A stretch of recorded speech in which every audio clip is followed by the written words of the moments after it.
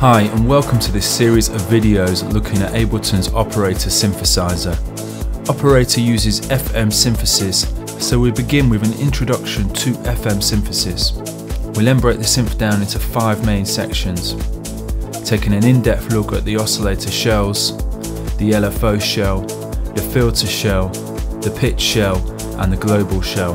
Once we know our way around the synthesizer, we then get stuck into some sound design videos beginning by creating some classic FM sounds. We then move on and create a series of different sounds using Operator.